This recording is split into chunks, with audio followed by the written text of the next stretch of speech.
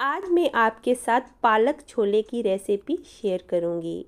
तो चलिए recipe start करते हैं।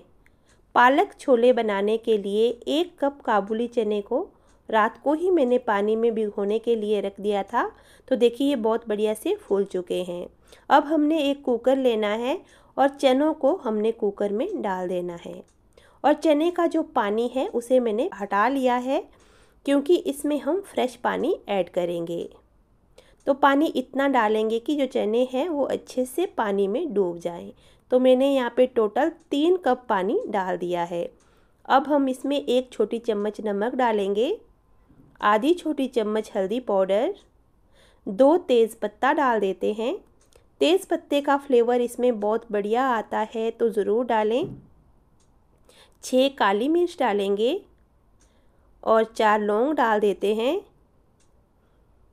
और दो हरी इलायची और एक टुकड़ा हम इसमें दालचीनी का डाल देंगे।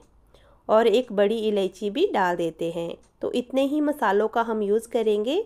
अब हमने कुकर में ढक्कन लगा लेना है और ढक्कन लगा के हमने फुल फ्लेम पे इसमें आठ से नौ विसल आने देनी है। तो देखिए, नौ विसल आने के बाद मैंने गैस को बंद कर दिया था और अब इसकी जो स्टीम है वो भी निकल चुकी है। और चने बहुत ही बढ़िया से कुक हुए हैं। तो चलिए मैं आपको दिखाती हूँ। तो देखिए चने बहुत ही बढ़िया से सॉफ्ट हो गए हैं। बस इस तरीके से बढ़िया से चनों को पका लेना है। अब चनों में हमने जो खड़े मसाले ऐड किए हैं, जैसे कि तेज़ पत्ता, दालचीनी और बड़ी इलायची, इनको हम हटा लेते हैं। इसी के साथ मैंने 300 ग्राम पालक लिया है पालक को चार से पाँच पानी में बहुत बढ़िया से वॉश करके लिया है। तो चलिए अब हम इसे ब्लांच कर लेते हैं। पालक को ब्लांच करने के लिए एक लीटर पानी को मैंने अच्छे से गर्म कर लिया है। इसमें हम एक छोटी चम्मच शुगर ऐड करेंगे। शुगर के साथ ही हम इसमें एक छोटी चम्मच नमक भी ऐड कर लेते हैं। इससे क्या होता है कि जो पालक का खारापन होता है ना, वो सारा ख़त्म हो जाता है। तो ज़रूर डालें। अब हमने शुगर को और नमक को पानी में अच्छे से घुल जाने देना है। फिर हम इसमें पालक ऐड कर देते हैं। अब पालक को पानी में अच्छे से डुबो लेंगे और तीन से चार मिनट फुल फ्लेम पे हमने पालक को इसमें पका लेना है। बहुत ज़्यादा नहीं पकाएँगे। तो देखिए, पालक काफ़ी अच्छे से सॉफ्ट हो गया है। अब हम इसे थोड़ा सा पलट देते हैं ताकि ये दोनों साइड से अच्छे से सॉफ्ट हो जाए। तो देखिए, चार मिनट के बाद पालक बहुत बढ़िया से सॉफ्ट हो गया है। अब हम गैस को बंद कर देते हैं और इसे एक बाउल में निकाल देते हैं। एक बाउल में मैंने चिल्ड वाटर लिया है। इसमें आइस क्यूब भी डाले हुए हैं। बस इसमें ही हम पालक को डाल देंगे। इससे पालक का कुकिंग प्रोसेस रुक जाएगा और इसमें बहुत ही बढ़िया कलर आएगा, एकदम ग्रीन। तो देखिए, पालक में बहुत ही बढ़िया ग्रीन कलर आया है। तो अब हमने इसे ग्राइंड कर लेना है। तो इसके लिए हम इसे एक ग्राइंडिंग जार में डाल देते हैं। तो देखिए, मैंने पालक डाल दिया है। इसी के साथ हम इसमें दो हरी मिर्च भी डाल देते हैं। और अब हमने इन्हें दरदरा सा ग्राइंड कर लेना है। तो देखिए, मैंने पालक को बहुत ही बढ़िया से ग्राइंड कर लिया है। अब हमने एक कढ़ाई लेनी है और कढ़ाई में हम दो बड़े चम्मच के करीब तेल ऐड करेंगे। तो देखिए मैंने तेल भी ऐड कर लिया है। अब हमने तेल को अच्छे से गर्म होने देना है और गर्म होते ही एक छोटी चम्मच ज़ीरा डाल देंगे। ज़ीरे को बढ़िया से तड़कने देते हैं।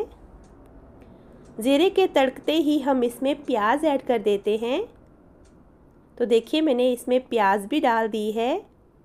थोड़ा सा इसे चला लेंगे। अब यहीं पे हम एक सूखी लाल मिर्च भी डाल देते हैं। अब हमने प्याज को मीडियम फ्लेम पे तब तक पकाना है जब तक कि ये अच्छे से सुनहरी ना हो जाए। तो देखिए, प्याज हमारी बहुत बढ़िया से सुनहरी हो चुकी है। अब इसमें आधी छोटी चम्मच हल्दी डालेंगे, एक छोटी चम्मच धनिया पाउडर, एक छोटी चम्मच कश्मीरी लाल मिर्च पाउडर, एक छोटी चम्मच रोस्टेड कसूरी मेथी और एक छोटी चम्मच भुना ज़ीरा पाउडर। अब सबको अच्छे से मिक्स कर लेते हैं। और अब हम इसमें ऐड करेंगे टमाटर। दो मीडियम साइज़ के टमाटर को मैंने कद्दूकस करके लिया है, डाल देंगे। अब टमाटर को भी मसालों के साथ अच्छे से मिक्स कर लेते हैं। और मिक्स करने के बाद अब हम इसमें नमक ऐड करेंगे। तो देखिए मैंने यहाँ पे टेस्ट के अकॉर्डिंग नमक डाल दिया है।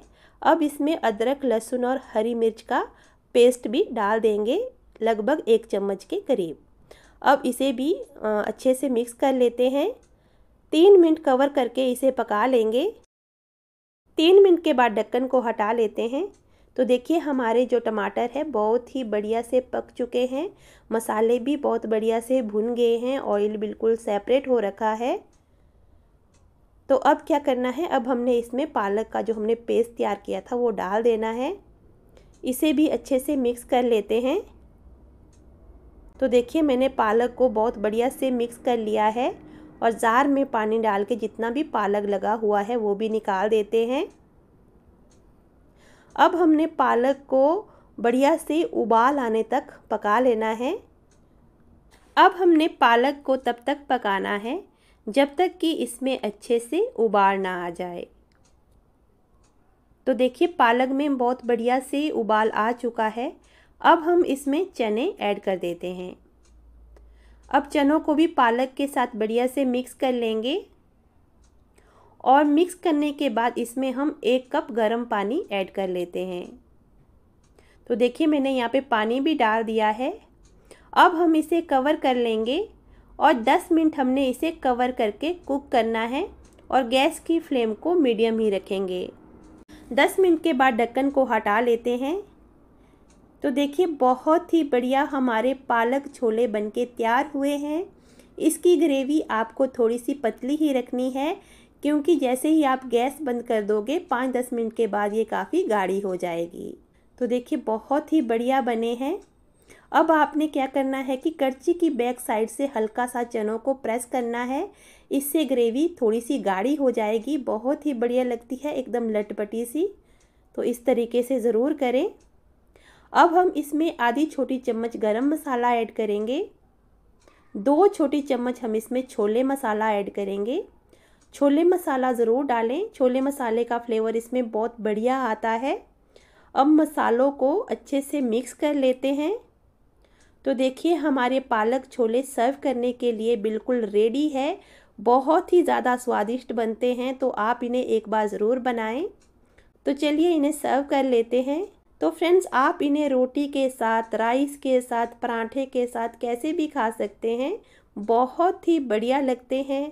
एक बार ज़रूर ट्राई करें। रेसिपी अच्छी लगी हो तो वीडियो को लाइक करें, शेयर करें और चैनल को सब्सक्राइब ज़रूर करें।